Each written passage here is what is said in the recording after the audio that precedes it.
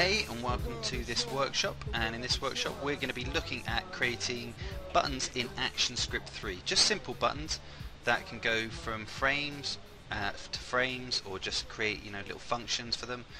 The issue with ActionScript 3 and ActionScript 2 is that ActionScript 2 was a lot more forgiving in the way you created buttons. In ActionScript 3 you have to create listeners that listen out for the um, certain interactions that you're going to be using. So for instance with a button we're going to be using mouse interaction. So when we click it's going to be looking that object will be looking out for a mouse click. Um, in ActionScript 2 you could get away with it by writing the code directly on the button. In ActionScript 3 that's not an option anymore. And in ActionScript 2 you could also write functions for buttons actually in the code. So you wouldn't write any code on the button itself. And for people who have done that if you're listening and you've done that before this is going to be somewhat similar. So we're looking out for listeners and we're going to then create a function for it and it's that, that sort of principle is the same. But once you've got this down you'll be able to start using ActionScript 3 a lot easier and creating basic websites with it. So we're going to go ahead and create our first button and for that I'm going to get an oval and this isn't going to look pretty but it's going to work so that's what's important.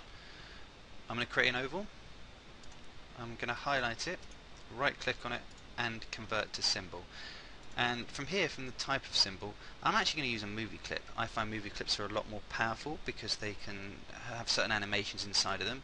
I would use a button if I was going to create some invisible buttons or hotspots, but generally as practice I use movie clips nowadays. And I'm going to call this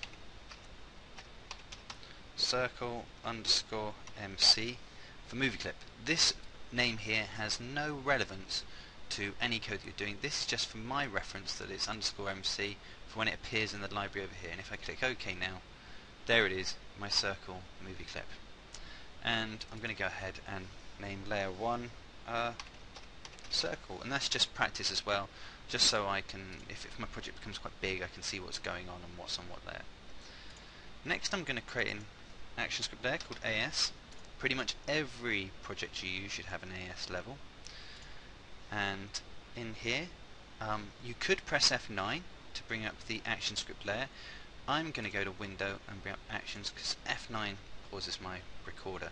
So from here we're going to start the script and write ourselves a uh, the first listener for the buttons.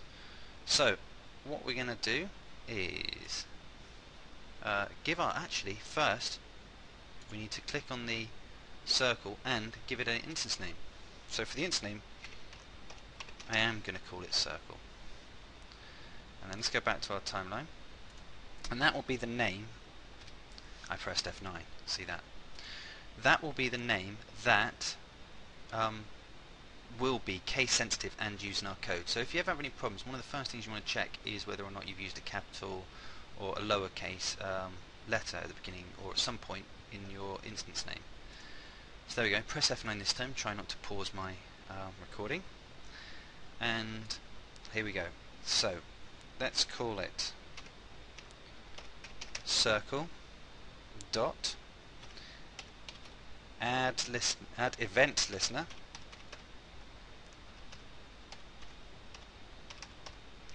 So that's our event listener now. And this is going to look out for and there's many types of event listeners on this uh, and we're going to listen out for a mouse. Event dot. And we're going to have a click event. So that's all capitals there click. And here after the comma I'm going to type a function name. And let's call this uh, pressed so this will trace, this will find out when we've pressed our button, and this is the function that's going to call when we've pressed our button. Right, now what we have to do is write the function, and this is very, very similar to ActionScript uh, 2. The only difference is it's kind of, you, you have to declare what type of event it is the function going to be um, looking for. And this is because if it comes out for error checking um, in your compiler error window, it's easier in large lumps of code for Flash to figure out what the errors are due to the way it's written, although it is a lot harder and um, to write generally, um, but it's worth it in the end. So if I type in uh, function, and let's call our function names, this is all similar to ActionScript 2, function pressed, and now what we have to do is we have to give a variable name uh, where we're going to store this event. Uh, this is EVT I'm going to call it.